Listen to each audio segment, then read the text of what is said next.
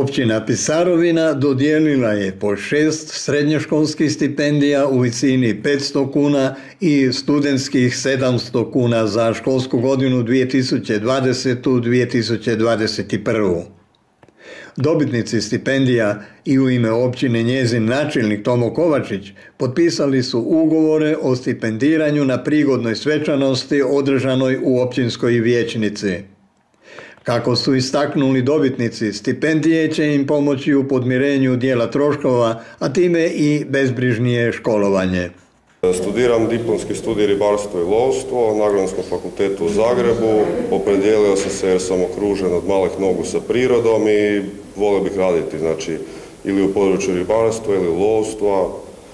Također me zanima ruralni turizam, tako da vidim tu potencijala na području općine i svima nama mladim ljudima bi trebalo biti želja da ostanemo na rodnoj grudi, da se zaposlimo i da doprinosimo općini i našoj zajednici.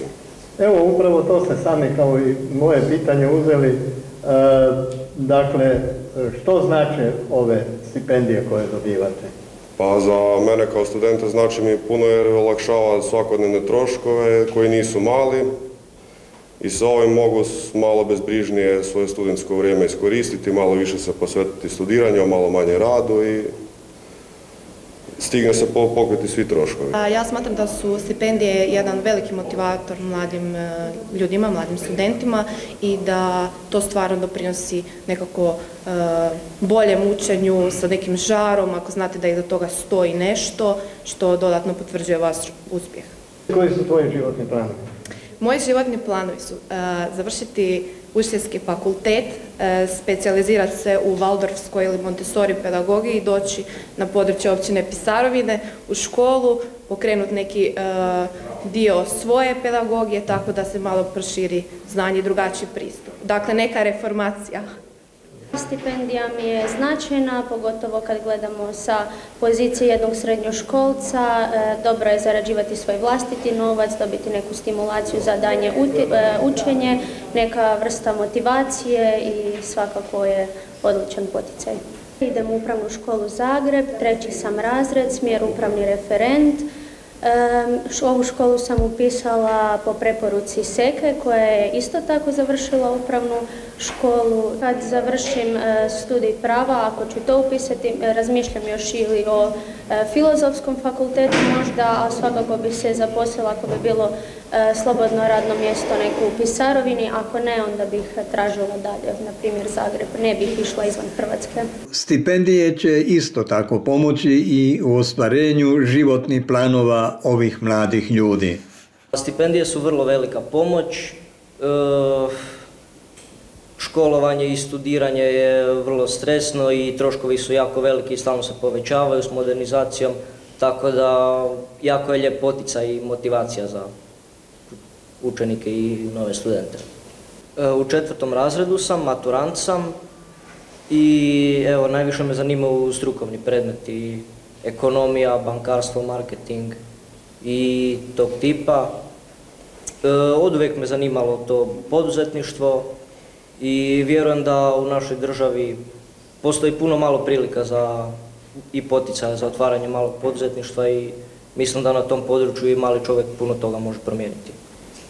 Kako su tvoja promišljanja? Ostati ili otići? Ostati u Pisarovini, u Zagrebu, negdje u Hrvatskoj ili možda otići malo vidjeti kako je to u svijetu? Pa evo, mislim da nema ništa loše kod uh, ići vidjeti u svijetu, ali ja osobno sam vezan za svoj kraj i mislim da ko želi raditi može i naći dobru priliku i uvijek ima prilike za uspjeh. Općina Pisarovina dodjeljuje učeničke i studentske stipendije 16. godinu, pa i na taj način dobiva obrazovane kadrove potrebne tvrtkama u poduzetničkoj zoni, općinskim ustanovama, turizmu i drugim djelatnostima.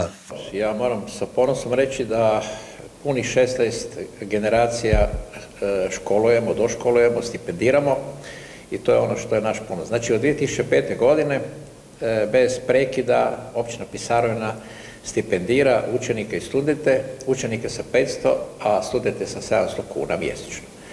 E, do sada je ukupno prošlo znači stipendirano, dobilo stipendije 344 učenika i studenta, što je za našu općinu značajan broj i evo ja vjerujem da je to, e, te stipendije da su roditeljima puno pripomogle da su djeca mogla zadržati taj nivo školovanja, da su ta sredstva upotrebili u prave svrhe i da je to znači njima olakšalo e, školovanje i dalo mogućnost da se mogu i doškolovati, obzirom da su stipendije više socijalnog karaktera i da ti roditelji su slabijeg imovnog stanja i da ta djeca zapravo i možda ne bi mogla ići u, pogotovo ne u višu školu, da nisu dobile stipendiju. Kako bi privukla što veći broj mladih obitelji potencijalnih radnika za svoje gospodarstvo, općina Pisarovina besplatno će im dodijeliti više od 40 komunalno opremljenih gradilišta u Jamničkoj Velikoj.